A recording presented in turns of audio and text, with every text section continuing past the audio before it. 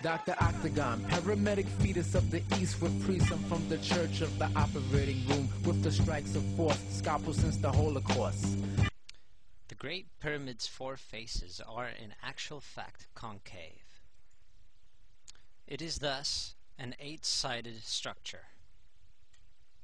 The King's Chamber's floor plan reveals that it is a perfect double square. If we interlock the two squares and connect the points of the eight-pointed star thus formed, we get an octagon. Researcher Ralph Ellis believes that the David star is made out of two pyramids interlocked, one obviously being inverted. If we make the two pyramids three-dimensional, we get what I call a staramid. Viewed from above, the staramid would again have the octagon implied in its geometry.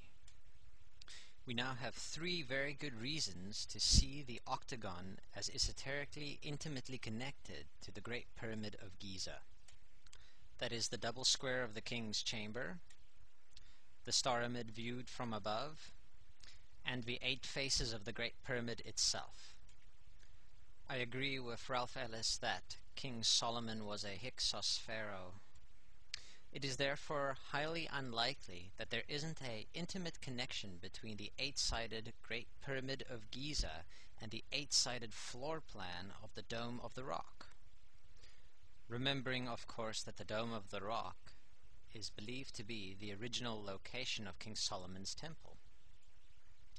Researchers Graham Hancock and Robert Bauval, in their book Talisman, relate that the Knights Templar, who during the Crusades made their home inside the Dome of the Rock, adapted the octagonal shape into their famous Red Cross symbol.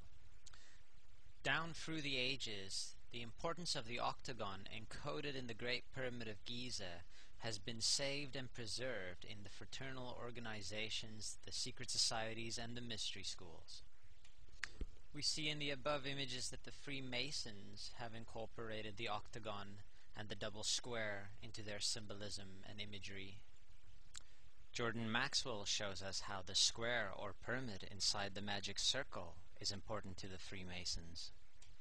Seen here is the giant Freemasonic Egyptian obelisk viewed from the top in Washington, D.C. Thus it can be viewed as a pyramid inside a magic circle or stargate. Remember in this regard how a pyramid connects to the octagon. A five minute walk from outside my door brings you to King Solomon's Temple or Manitoba's legislative building. On arriving we see on top of an octagonal dome Golden Boy, Hermes, or Thoth or even Prometheus with his illuminating torch. We enter in between two sphinx flanking the entrance. Once through security, we head for the lower floor and onto the pool of the Black Star. We are now inside a giant circular chamber with a large eight-pointed star and octagon inside a circular stargate. Is this the location and scene of many a secret society ritual? inside a building designed after King Solomon's temple. As I lie here, I am very near to the geographical center of the North American continent. I am inside an octagon referencing the Great Pyramid of Egypt, and I am lying underneath a 13-foot golden statue of the god Thoth.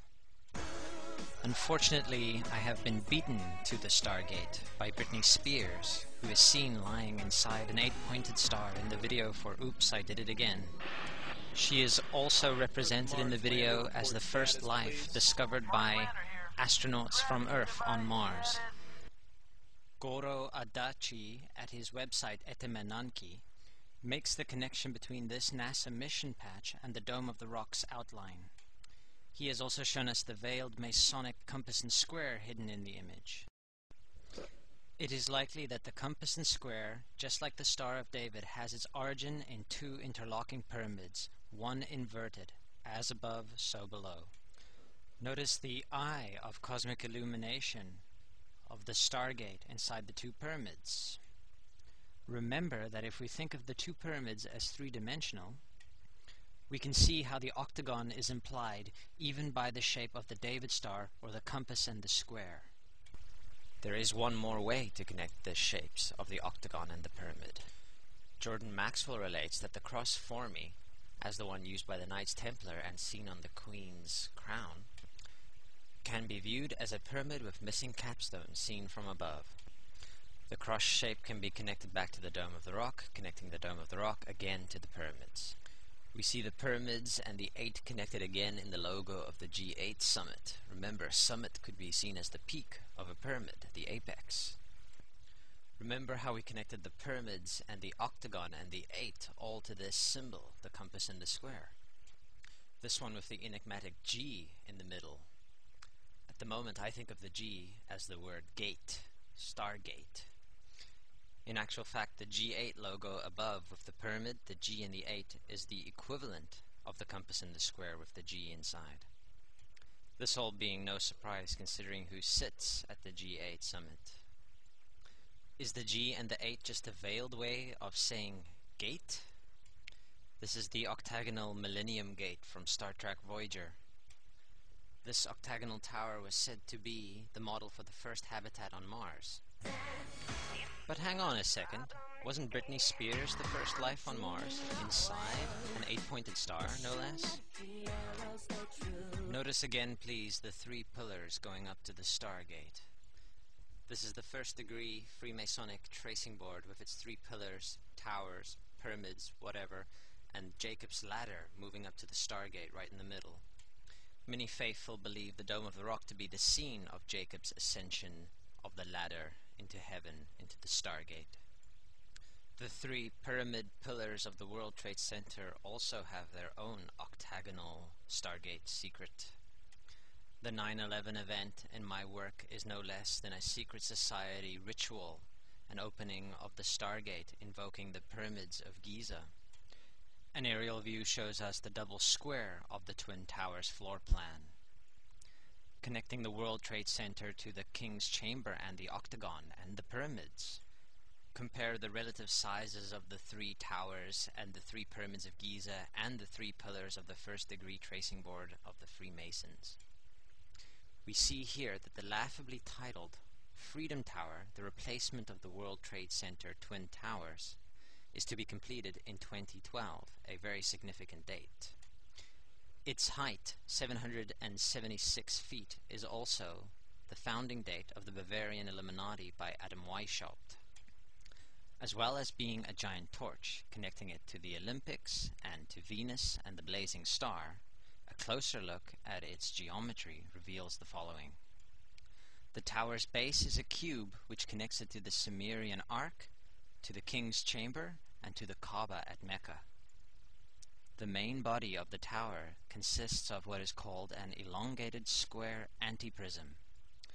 The square antiprism, just like the star image, sees two squares placed at 45 degree angles above each other.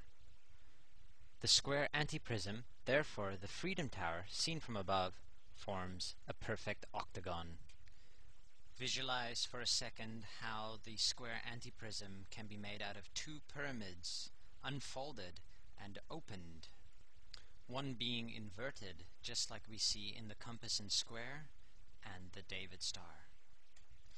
The Freedom Tower, just like the Great Pyramid of Giza, has eight triangular facets.